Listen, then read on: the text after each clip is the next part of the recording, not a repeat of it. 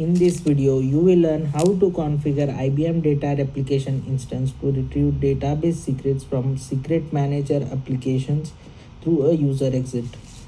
Let's start with some pre-requirements. The user have to be on IIDR version 11.4.0.4 5629 or later to configure Secret Manager user exit feature. The secret stored in Secret Manager must have a minimum of read access. The user should create a Java based CDC user exit following the documentation or use a sample user exit provided in the CDC installation directory samples folder.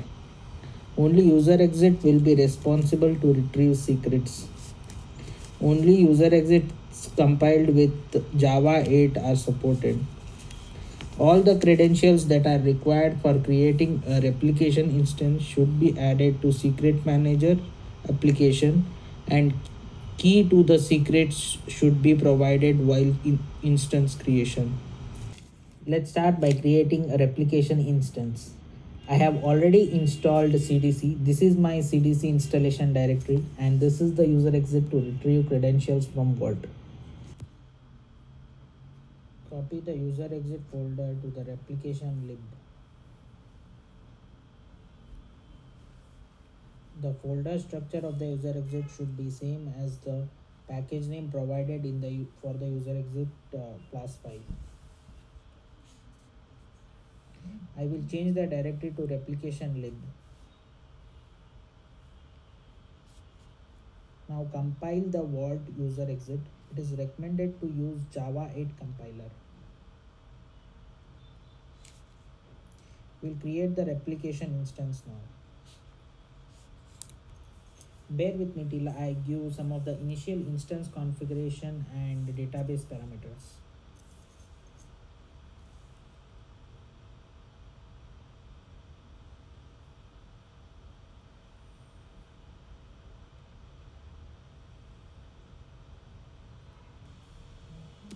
Please provide Y input when configuration tool asks to retrieve credentials from external secret store. Configuration tool also asks to provide a user exit class name and also vault key for database user credentials.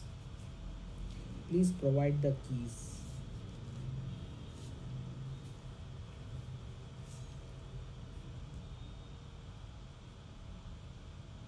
Configuration tool will get the credentials from Vault and use it to retrieve DB schemas. Enter or select the DB schema you need for replication and provide other instance parameters. Wait till replication instance starts.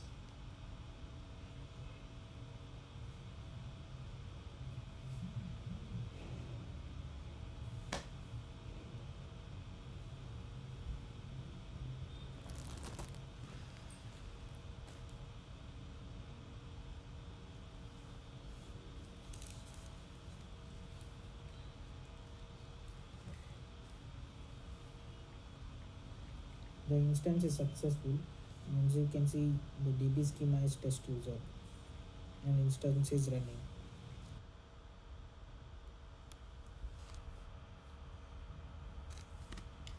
In the management console access manager tab create a new data store and provide data store name host name and port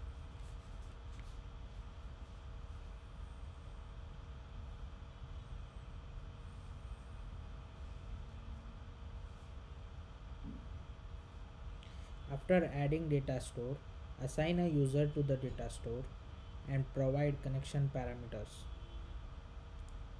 The connection parameters will be the keys to the credentials stored in Vault.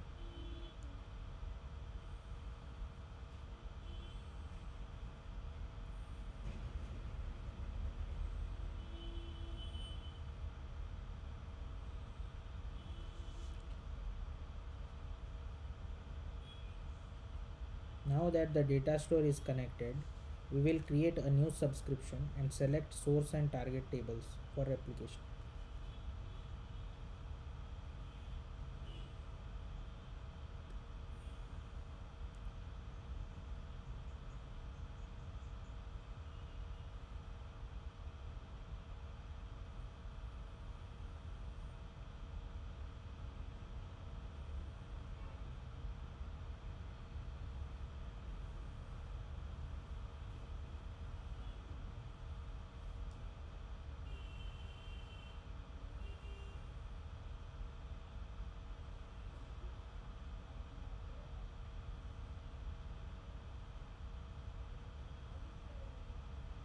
We will first start with refresh.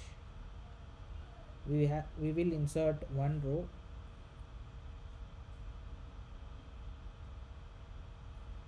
And start mirroring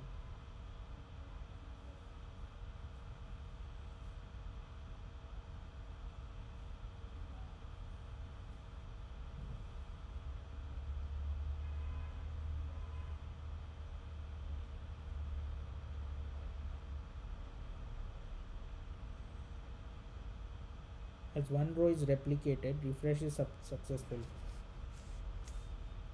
Let's add two more rows to check mirroring